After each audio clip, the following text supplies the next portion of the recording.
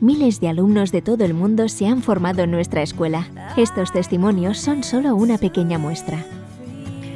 Eh, me di cuenta, pues, que yo estaba trabajando mal con los perros. Yo antes trabajaba entrenando perros de asistencia y de terapia y daba terapia con perros. Y siempre sentí que algo estaba mal, que había algo que no me checaba, o sea, había algo que no me checaba. No era lógico para mí entrenar a un perro con salchicha o con algún tipo de premio de comida. Entonces, ya tiene que haber algo más, ni modo que una persona con discapacidad le esté dando premios a su perro cada vez que le hace algún servicio. Claro.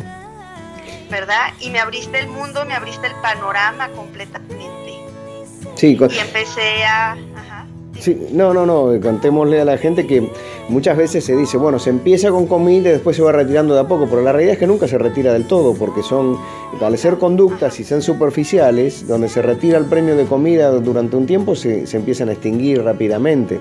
Eh, entonces, en realidad nunca se puede retirar del todo la comida y queda la cosa ahí, ¿no es cierto? Así es, siempre queda la cosa ahí y siempre tienes el riesgo de que el perro te falle en algún momento. Claro siempre. A mí me llegó a pasar varias veces eh, porque también monté un espectáculo para niños, para fiestas infantiles, con los perros que hacían, que hacían este, ¿cómo se llama? Trucos, eh, bailaban y cosas de ese tipo. Y siempre había el, el, riesgo de que algún día el perro no quisiera trabajar, no quisiera hacer las cosas. Ahora no, ahora los perros siempre salen motivados. Ya no hago eso pero cuando me ha tocado en algún día del niño que me invitan ocasional o cosas de ese tipo, eh, siempre el perro va motivado a trabajar. Monté mi centro de, rehabilitación de conducta.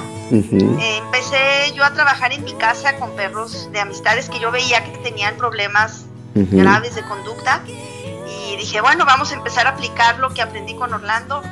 Y me funcionaban las cosas muy bien, muy, muy bien y fui creciendo, creciendo hasta que me vi en la necesidad de cambiarme a un lugar más grande y compramos un lugar, mi esposo y yo, y ahí tenemos nuestro, nuestro centro.